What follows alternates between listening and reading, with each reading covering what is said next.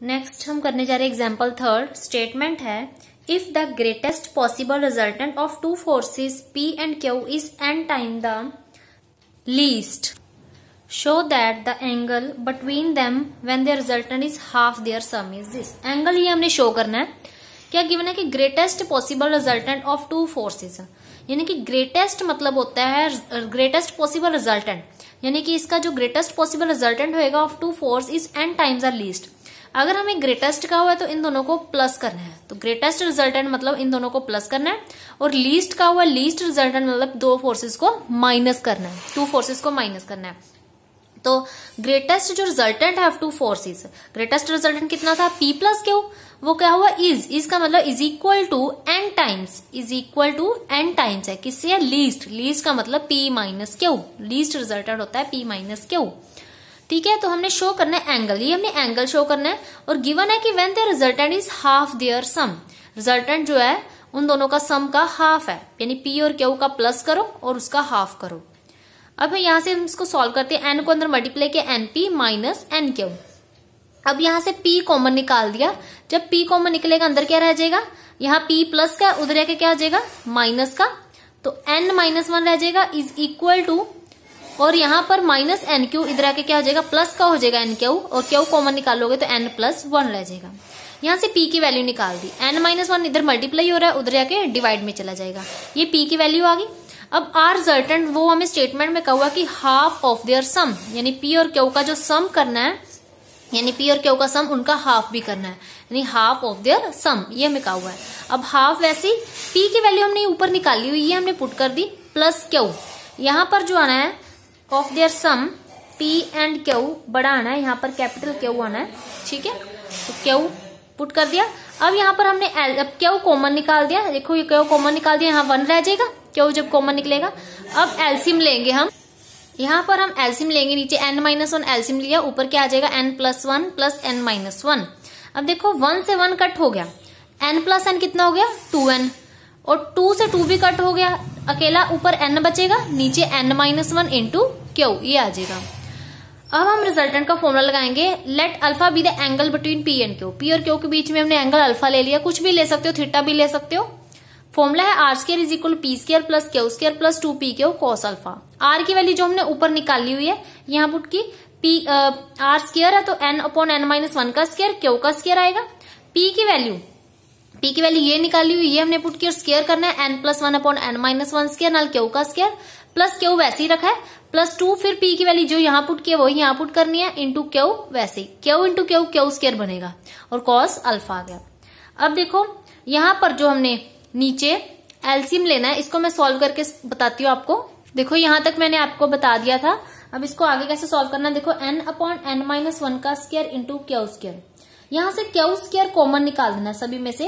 अंदर क्या रह जाएगा? देखो n plus one upon n minus one का होल स्केयर प्लस यहाँ क्यू स्केयर कॉमन निकाल दिया? वन रह जाएगा। और ये Q into Q? Q square common निकाल दिया? अंदर क्या रह जाएगा? Two into n plus one upon n minus one into cos alpha ये क्यू स्केयर से क्यू स्केयर कट हो गया। क्या बचेगा? N upon n minus one का whole square is equal to यहाँ पर हमने एल्सियम ले लिया।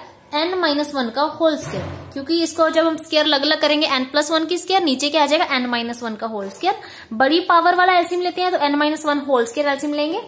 तो एल्सियम ले ऊपर क्या रह जाएगा? एन प्लस वन का होल स्केयर प्लस यहाँ नीचे वन है तो एन माइनस वन का होल स्केयर को वन से मल्टीप्लाई करेंगे। यहाँ पर एक टर्म है एन माइनस वन की। टोटल हमारे पास टू पावर थी, यहाँ एक पावर है, एक नहीं है। तो जो एक नहीं है, वो ऊपर मल्टीप्लाई करेंगे। Two into n plus one n minus one यानी कि एक पावर जो एन माइनस वन की, ये वाली वन पावर जो है एन माइनस वन ऊपर न्यूमिनेटर से मल्टीप्लाई करेंगे साथ में कॉस अल्फ़ा ये ऊपर क्या एन स्केयर स्केयर अलग अलग कर दी अपॉन एन माइनस वन का होल स्केयर अब इसका स्केयर खोलना है ए प्लस बी का होल स्केयर क्या आ जाएगा? N square plus one plus two n इसमें ए माइनस बी का whole square n square plus one minus two n plus, यहाँ फॉर्मूला लगा दिया A plus B A minus B किसके इक्वल होता है? A square minus B square into cos alpha नीचे N minus one का whole square ये cut हो गया। अब क्या बचेगा? N square is equal to देखो n square plus n square two n square plus two n से टू एन कट हो गया one plus one two plus साथ में two into n square minus one into cos alpha ठीक है?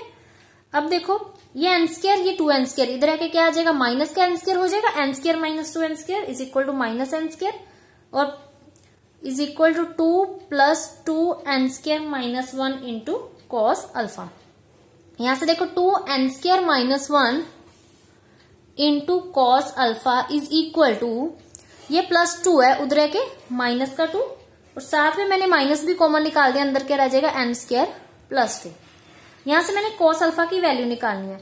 Cos alpha कितना आ जाएगा? Minus of n square plus two minus common निकाला हुआ ऊपर। नीचे two into n square minus one alpha कितना आ जाएगा? Cos inverse minus n square plus two upon two into n square minus one ये आंसर आ गया। यही हमने प्रूव करना था। देखो, क्या प्रूव करना था? Cos alpha minus of n square plus two upon नीचे two n square minus one ये हमने प्रूव करना था। ये प्रूव हो गया ये वाला। आप फॉर्मूले टिक कर लेना। जो जो मैंने आपको करवाया है। एक तो मैंने रिजल्टेंट का फॉर्मूला बताया। Under root of P square plus Q square plus two P Q cos alpha एक आपने टेन थीटा या थीटा का दोनों में, दोनों सेम ही है फॉर्मूला ये करना। Learn Q sine alpha upon P plus Q cos alpha एक आपने साइन थीटा और कोस थीटा का करना है।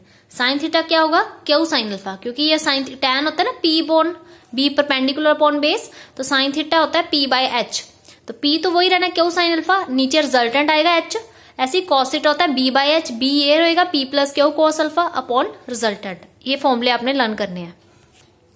Next example fourth resultant of forces P and Q is at right angles to P two forces given है. कौन सी given है? पी एंड क्यू और जो रिजल्टेंट है वो राइट right एंगल है. किस पॉइंट पे राइट right एंगल है? पी पॉइंट पे राइट right एंगल है.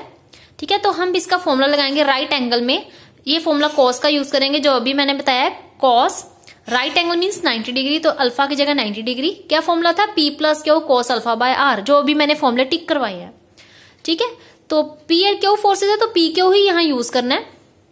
कॉस अल्फ़ा बाय आर और यहाँ पर देखो, यहाँ पर जो है कॉस थिट है, यानी कि जो पी एंड क्यू है is at right angles to P resultant जो है पी और क्यू का, वो किस राइट किस पे राइट एंगल है? पी पे है। ठीक है तो यहाँ थिटा की जगह हम 90 डिग्री पुट करेंगे राइट एंगल और कॉस 90 कितना होता है? Zero P plus Q cos alpha by R cross multiply किया यहाँ से P plus Q cos alpha zero आ गया। और यहाँ से कोस अल्फ़ा की वैल्यू क्या आ जाएगी? Minus P upon Q second line में हमें टू फोर्सेज कही हुई है पी डैश और Q dash acting at same angle is right angle to Q dash अब ये राइट एंगल किस पॉइंट पे का हुआ? है क्यू डैश पे।